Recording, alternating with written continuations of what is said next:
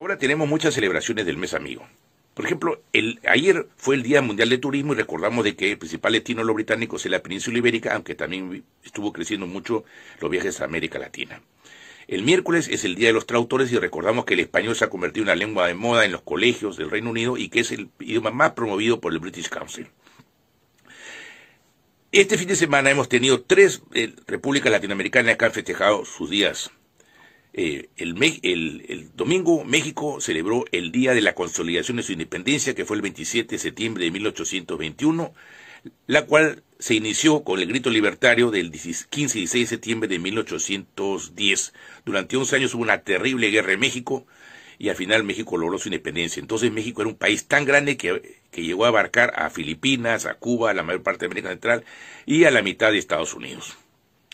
El el, el, sábado fue el Día de la Bandera de Ecuador y recordamos que sus tres colores, amarillo, rojo y azul, son los mismos de Colombia y Venezuela, con los cuales formaron parte de la Gran Colombia. Y el domingo los dominicanos celebraron el Día de las Mercedes. Claro, esto fue el día viernes, pero los dominicanos siempre lo tienen que celebrar los domingos y así lo tuvimos a los dominicanos en acción en un restaurante. Ahora mismo tenemos otra eh, importante eh, celebraciones religiosas. Es el Día del Perdón de los Judíos y recordamos de que en este país, los que primero empezaron a hablar español y portugués en más en las calles fueron los judíos sefaraditas expulsados de la península ibérica al mismo tiempo que Colón eh, zarpó para las Américas.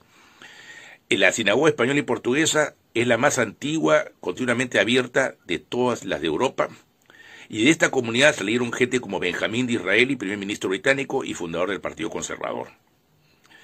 Otras celebraciones religiosas tenemos en el mes amigo, por ejemplo, al inicio, el día 8 es el día de Extremadura, de Asturias y de Andorra, ligados a patrones católicos, y cerramos el mes amigo con el día de Nuestra Señora Aparecida, que es la patrona de Brasil, el país iberoamericano más grande que existe y el país católico más poblado que hay.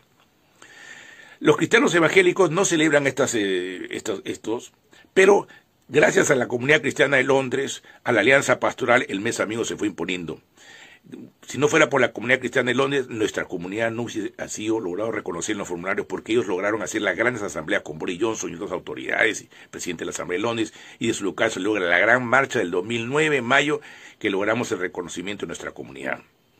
Eh, Siempre iniciamos el mes amigo en, la, en las iglesias evangélicas brasileñas porque es el Día de Brasil y lo terminamos en la capellanía latinoamericana en la Catedral de San George para tratar de hermanar a los evangélicos, a los católicos y pasando por los judíos. Y queremos unir a todos los sectores de nuestra comunidad.